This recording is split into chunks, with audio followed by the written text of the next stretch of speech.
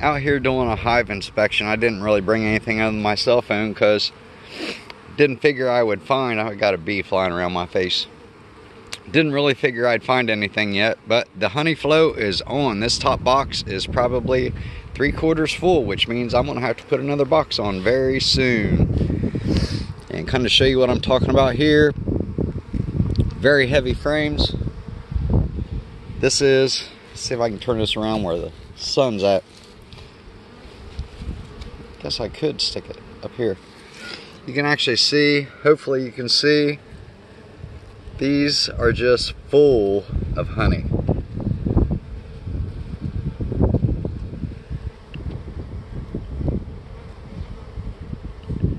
They haven't started capping it yet, but they're very heavy frames and this is actually the outer frame, so always a good sign. It is um,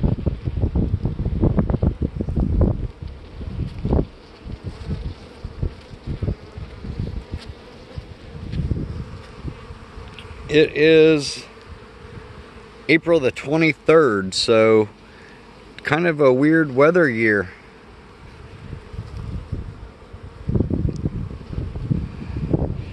And sorry about this camera angle and stuff. Uh, I'm really kind of in a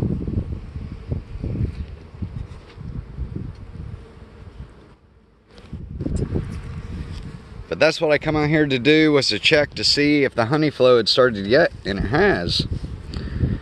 And I kind of uh, thought that was the way it was going to be. You can see there is a lot of activity down here at the front of this hive. And that's usually one of the signs in spring where you see them bringing in pollen sometimes, but not all the time, but they're, they're still coming in. They're bringing stuff in, but what are they bringing in? Well, if it's not pollen, it's either got to be water or it's got to be nectar. So, again, a whole lot of activity.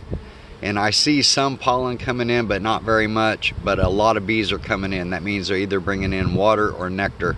So the honey flow's on. That's a good sign. I'll probably have to put another top box on this maybe in a couple of days. So I'll update you then, and I'll try to remember when I add the other box to record that video. Um, again, I wasn't expecting to see the honey flow so strong already, but it is, so we'll just have to take it day by day now.